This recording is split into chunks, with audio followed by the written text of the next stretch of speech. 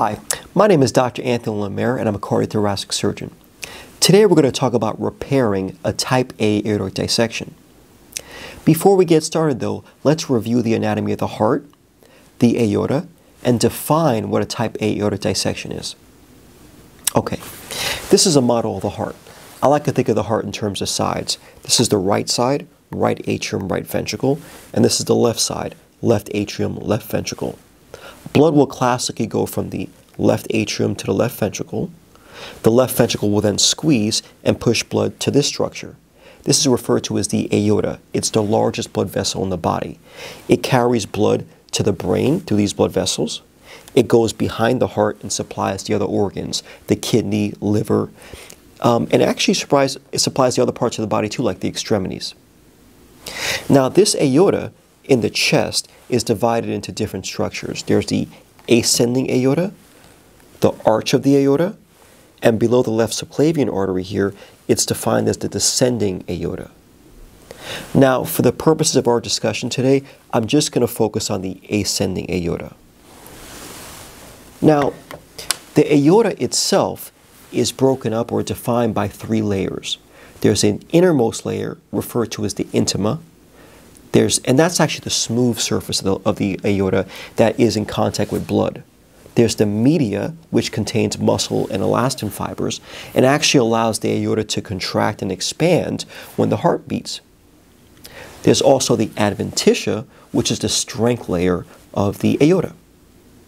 Now, a dissection of the aorta essentially means there's a tear in the innermost wall or the intima of the aorta.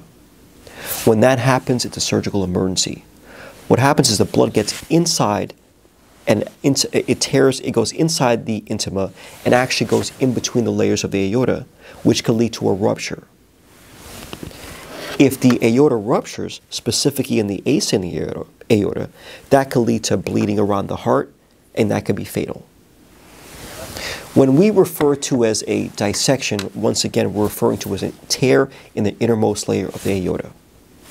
Now, you can have a dissection that involves the ascending aorta. You can also have a dis dissection that involves the descending, and they're actually managed differently.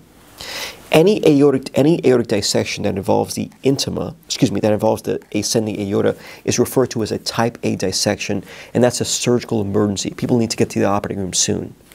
When it involves the descending aorta only, below the left subclavian artery, that's referred to as a type B dissection, and that classification is referred to as a Stanford classification, um, just for your own knowledge. Again, they're treated differently. Now, let's, let's talk more about what people present with when they have a type A dissection. Commonly, these patients have symptoms, but they don't always. The most common symptom is chest pain. Sometimes they have back pain. And sometimes the pain goes from the chest to the back. It's often severe, it's constant, and these patients are often very uncomfortable. They can have other symptoms or signs as well. They can be short of breath, they can be paralyzed, they can pass out. There are a lot of different symptoms and signs for aortic dissections, and it's up, up to our staff, the medical community, to identify them. Now, once the patient is diagnosed with a type A dissection, and it's often a combination of physical findings, signs and symptoms, and diagnostic tests, the most common being a CT scan, the cardiac surgery is notified. And if it's a type A dissection involving the ascending aorta, oftentimes the patient will get right to the operating room. Now, the critical aspect of this operation is we, we're trying to replace the ascending aorta. Once again, there's a tear that involves the ascending aorta, and we need to replace the ascending aorta, and that's replaced with a graft, and that graft will last forever. The graft is classically either a Dacron graft, and sometimes there's other grafts like a Gore-Tex graft. Now, once the patient gets to the operating room, they'll go to sleep. At that time, they'll be prepared for surgery, which essentially means they'll be prepped and draped. Another critical aspect of performing this operation is to be able to get on the heart-lung machine, cardiopulmonary bypass. And that requires both arterial access and venous access.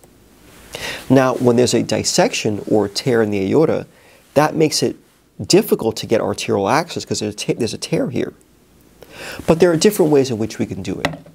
We can get arterial access through the axillary arteries, which are below the clavicle. We can go directly to the aorta with the use of ultrasound. And we can also go to the femoral arteries to get arterial access. What, in terms of venous access, we can either go directly to the right atrium or we can use the common femoral vein in the groin. Once again, once the patient's in the operating room, we'll open up their chest, we'll get arterial and venous access, and go on the heart-lung machine. Once we're on the heart-lung machine, we'll cool the patient's body temperature down, and eventually what's referred to as arresting the heart. We'll give medication to the heart so it's not moving while we're sewing. Now, there are a lot of details I'm leaving out, but once again, the essential aspect is we're cutting here, we're cutting here, and we're replacing the ascending aorta with a graft. And once again, that graft will last forever. It's commonly a Dacron graft, but we could also use a Gore-Tex graft and other grafts as well.